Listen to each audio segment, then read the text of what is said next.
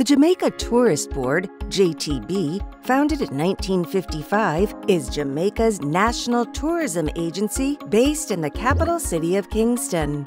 It is a government agency and is responsible for the worldwide tourism marketing and promotion for and of Jamaica.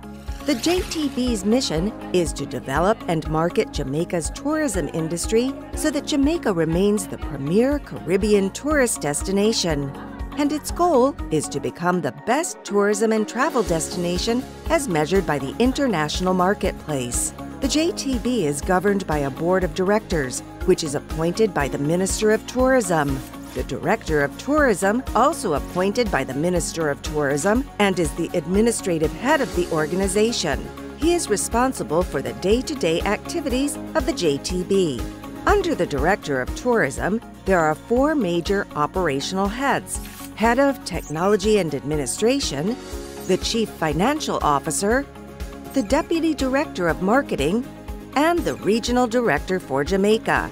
These four major operational heads are in charge of 10 managers who supervise various units and manage the day to day operations of the board.